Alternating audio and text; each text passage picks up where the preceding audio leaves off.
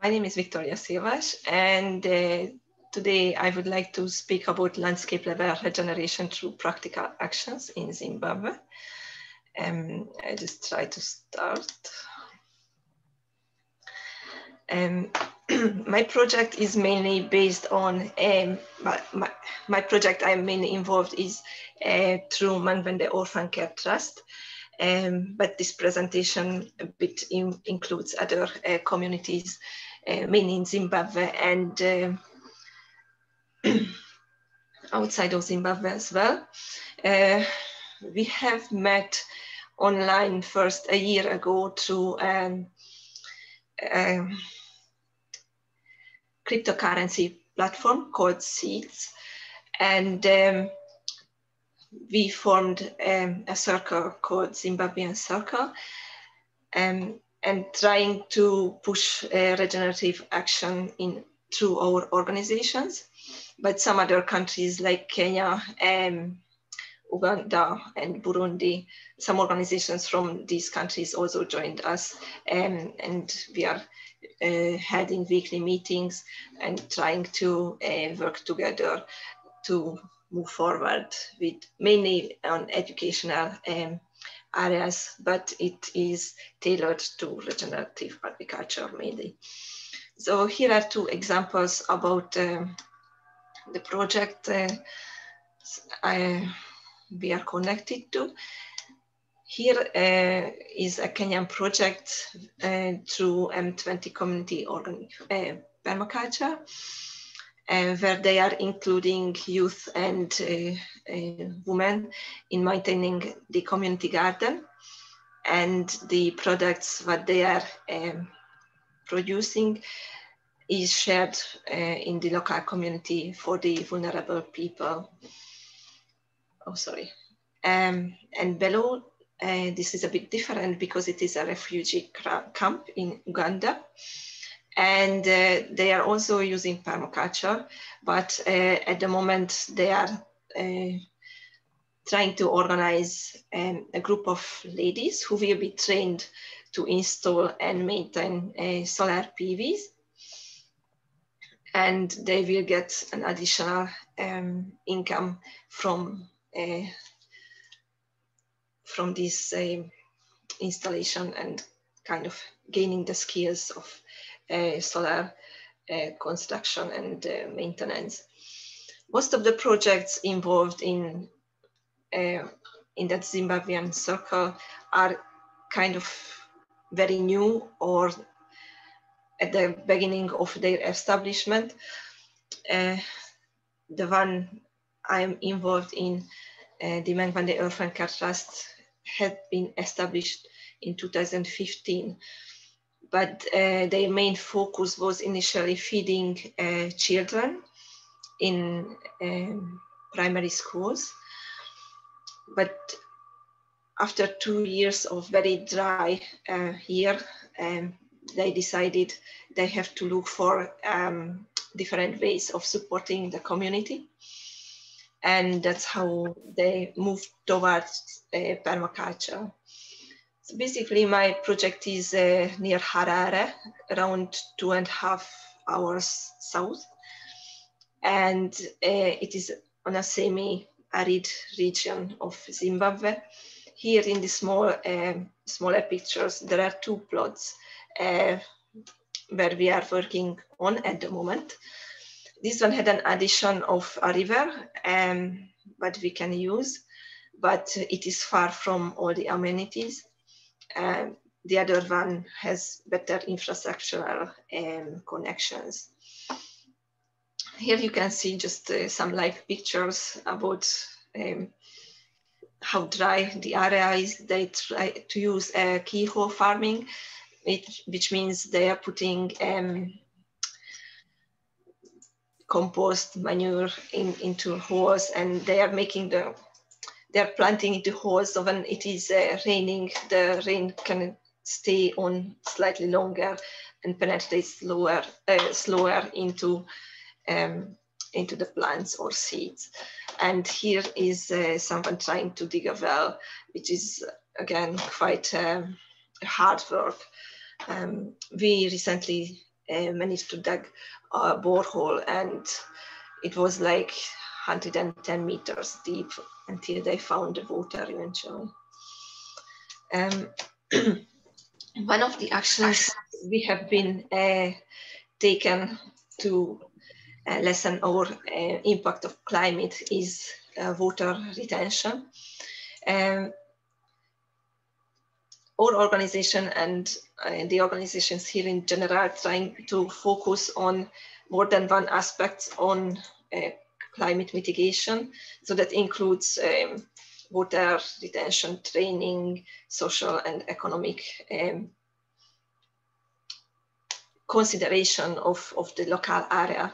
So um, we think a holistic thinking is more effective than just uh, focusing on one issue. Here is a water tank uh, that uh, had been built last year, able to hold around 50,000 liters of water. And um, it is mainly pumping the water from the river I have shown here around.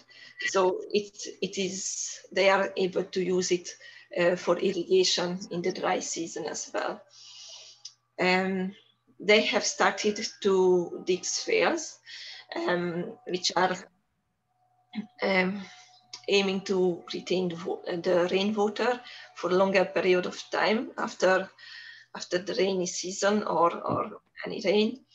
And since they are in the beginning, you only see a few trees here, but um, aim is to plant um, trees on the bank of the sphere. So that's again um, for water retention and also um, the trees will have uh, access for water for longer period of time. Here um, they're planting seeds again um, in small decor buckets and uh, plastic bottles. And they are collecting the rainwater from the uh, roof runoff. So that's again some way of conserving the water and uh, using for their advantage. there are a few solar projects that we have done so far on our area. So the first one uh, had been installed to pump the water from the river onto that 50,000 liter water tank. And we have used the solar pump for, uh, for it. It had been um, a diesel, diesel pump, diesel um, run um, pump before, but um, we managed to convince Evans, the founder of the Mangwende Orphan Care Trust, um, to switch it to more uh, sustainable way of um, of using pumps and he managed to purchase this solar pump. And that's a very recent project. Um, after we they have drilled the borehole uh, they installed uh, i think it is a 20000 liter water tank again uh, using the solar pump here to pump the water up. And this is mainly for drinking water and for cooking and um, clean, cleaning um, so the trees again, and um, here this is a very recent project. Um, they are, they have planted around 3,000 seeds, um, mainly Kenyan croton, but also uh, lemon and mango, to name a few. And they are hoping to increase the number, I think around, well, at least 10,000, but they, they are aiming for 50,000 at the moment. Uh, and they are hoping to sell it for the cryptocurrency, uh, what I mentioned at the beginning of the presentation, which uh, is a more, more stable um, money as their, their uh, Zimbabwean um, currency at the moment, and hopefully for the long term. Um, you can see here they're trying to do some mulching around trees for, um, again, for water uh, retention and to save the trees from uh, drying. They are also trying to in, involve uh, youth in, in the project and, and they can learn different skills, including um, grafting and pruning. And uh, this two picture shows uh, the beginning of um, fruit forest, where they are trying to mimic um, forest basically with the different um, height of trees, and um, they would be they will be edible um, fruit trees. So that's also kind of uh, good for soil, um, maintaining the soil, and um, also creates a good microclimate uh, as well as access for uh, food for uh, the people and also for uh, the animals. Here are uh, some examples of the traditional buildings. Um, they don't to use natural materials as far as possible. Uh, you can see some various methods of building uh, huts. They do um, hand molded bricks. This building is made of that. This is just about be, to be completed, I think, this week uh, with traditional attaching. And education is a big part of uh, the project, including ours, as well as uh, training the local children, the local community, uh, the people from the trust and the local communities also attending other courses to uh, increase their knowledge. Here they are um, at the Savory Institute learning about holistic grazing. So that's about um, my project in um, Mangwende Orphan Care Trust. And I would like to um, tell a few words about uh, the Soft Foot Alliance. Unfortunately, Laurie is not here at the moment. Uh, she couldn't manage to come. And they have a more established project as the Mangwende Orphan Care Trust. And I think they started probably around the same year 2015, but they, they went straight into permaculture by um, the Care Trust just started it around 19, 2019. And they also building uh, spheres using uh, gabions for, for water retention. They also uh, train people to build those really nice um, water jars, I think they call them. So they can collect water from rooftops and can use it for irrigation or washing or other similar things. Um, you can see here they have um, wildlife uh, elephants and lions, and both of them are a big issue for them.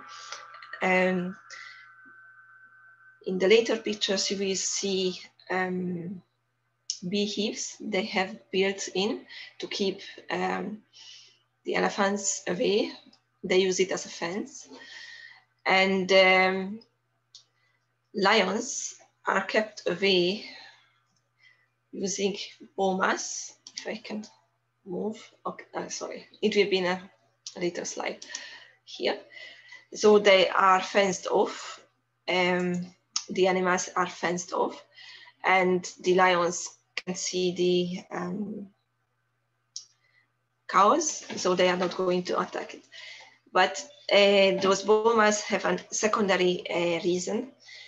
They keep uh, the livestock in one place and they will, through their work with manure and with their um, food, um, they work on the ground, on the soil, which makes it more productive.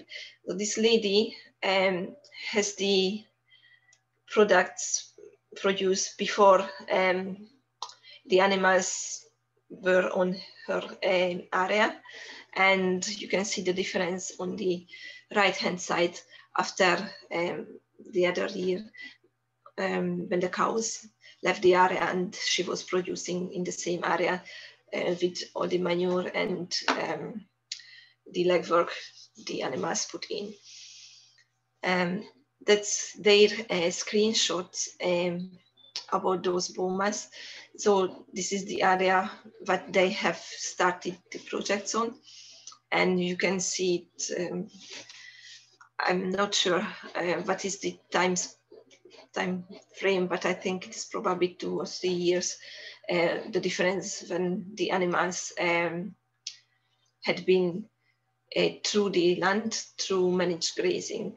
So this is also something um, which saves a lot of water and um, gives a much higher yield um, than on traditional base of farming. Um, here is the um, beehive fence I mentioned, and um, also some pictures of the community education.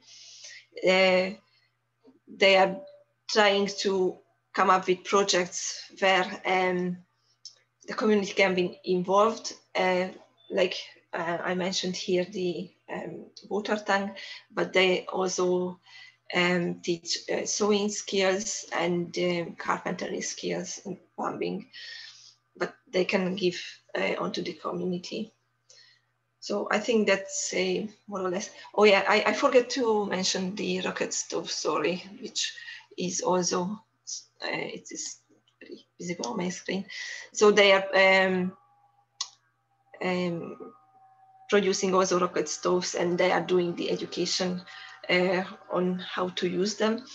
Um, this is um, also decrease the amount of trees needed to chop down um, for cooking because it is much higher efficiency as the tra traditional um, cooking option, which is usually open, um, open source heating.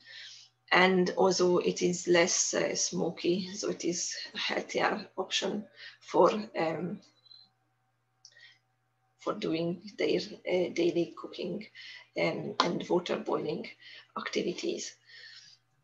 I think that's a, a presentation. Um, and if you have any questions, please write in the chat as Adam uh, recommended. Um, here are our um, email addresses and web links. Thank you for listening and I would like to pass it to Joe.